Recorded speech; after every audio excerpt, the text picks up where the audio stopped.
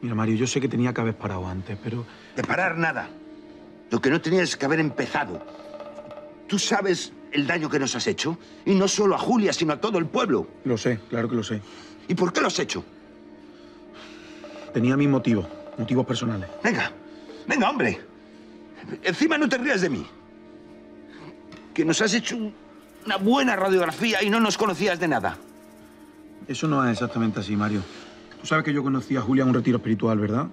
Pues allí es donde empezaron las primeras presentaciones. Pero se supone que no podemos hablar. Ya, bueno, pero aquí nadie nos ve. Espera, o es que tienes miedo de que te lleven otra vez al despacho de directo. La chica responsable que siempre hace lo correcto. Vale. Ay, ¿por dónde empiezo esto? A ver. em, Yo me iba a casar, ¿vale? Pero de repente descubrí que mi padre no era mi padre biológico, que mi padre biológico era un tal Carlos y que se acababa de morir y entonces me dejaba en herencia una casa en un pueblo que yo no conocía. La cosa empieza bien.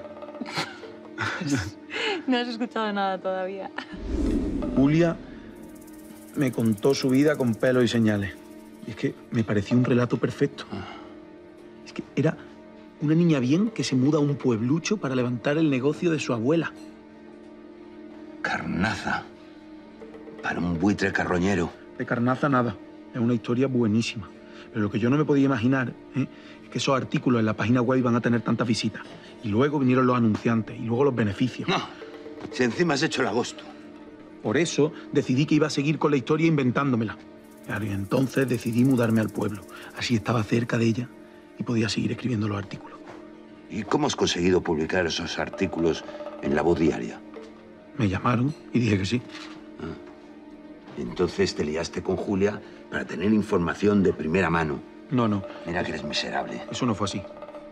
Yo, cuando la iba conociendo, ella me iba gustando cada vez más. Si te fijas, de hecho, desde hace unas semanas ya no se publican artículos. Y no sabes cómo me está presionando el editor, ¿eh? ¿Pretendes darme pena después de lo que has hecho? Debería llamar a Julia ahora mismo. No, Mario, Mario. No quiero darte pena. Solo quiero que sepas que si pudiera daría marcha atrás. Te lo juro. Pero ya es imposible. Está bien. Te guardaré el secreto, pero solo si te sinceras con Julia. Si de verdad te gusta.